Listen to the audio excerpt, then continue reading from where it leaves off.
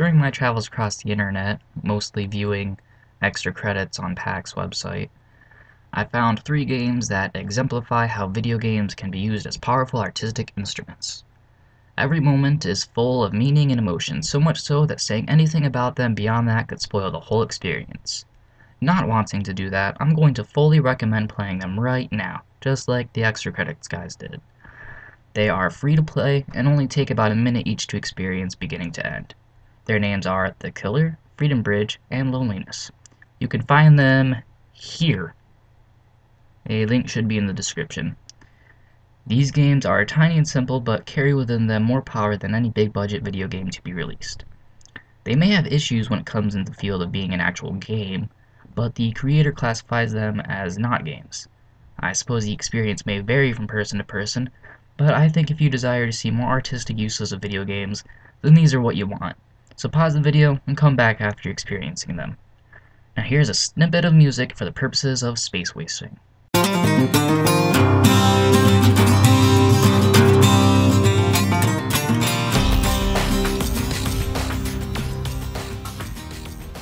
Assuming you came back, here are my in-detail thoughts of these not games. First up is Loneliness. This is the first of the three to be experienced by me thanks to extra credits leading me directly to it. You are a block person going throughout their life and perhaps trying to join other people and fit in society. Or you could feel frightened by others and try to avoid them. Or you could feel betrayed by your first failures to do so and avoid everyone still. Or you could feel like some supernatural being with power so immense that everything around you is pushed aside, or something else, I'm sure. No matter what, though, you'll always be a lonely block person. None of the other blocks will stay with you. Thus, you'll experience some form of loneliness. Perhaps you'll feel independent of the other block people, or feel sorrow at their rejection of you. Just through gameplay, it can tell something about you. You could of course blow through the whole thing believing that it is a simple game where you're the super powerful entity mentioned before, but even that says something about you. You start Freedom Bridge the same way you do Loneliness, where you're a block. There is some barbed wire, your gaming instincts tell you to get behind the barbed wire. Lacking any other option, you just plow straight through it, bringing immense damage to yourself. I was pretty disgusted at first, but a little blood won't stop me from getting through all these fences and towards freedom. When I was first going through, I thought that some enemy blocks might be pursuing me and using the trail of blood to find me, so I started making winding trails with it. That shows you the mentality you can get while playing this. You're going to be free, it's going to hurt, but so be it, it'll be worth it. You see the bridge, and your excitement builds as you're almost free, but then reality comes crashing down as you cross the bridge and explode after hearing a loud shot.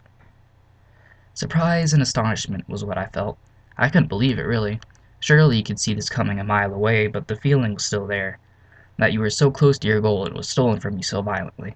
Pretty good way to inform the audience of Freedom Bridge on the border of North and South Korea. That deafening gunshot really sticks the idea into your head. Then there is The Killer, my favorite out of the bunch. In this one, you're a stick figure with a gun escorting a prisoner. You just hold space and watch as you force someone to travel large distances through varied terrain, all while knowing that at the end of this journey the prisoner will be killed, and it'll be you doing the killing. You have quite a bit of time to think about this on your way to your destination. You'll ask yourself after having to hit the prisoner so he can go faster, am I really going to kill him? Is there a way out of this?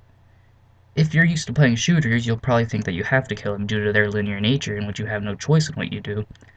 You're just following instructions. The walk becomes more and more difficult as you think and despair over what's coming soon. Eventually, you'll reach the end and stop. You'll take aim. What I found was that there was no way I was going to shoot this person.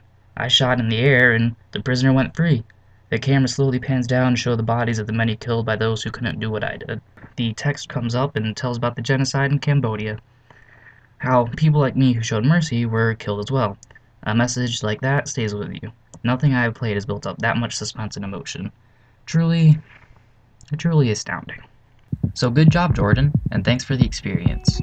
This has been Andrew Horning with LOEM Gaming.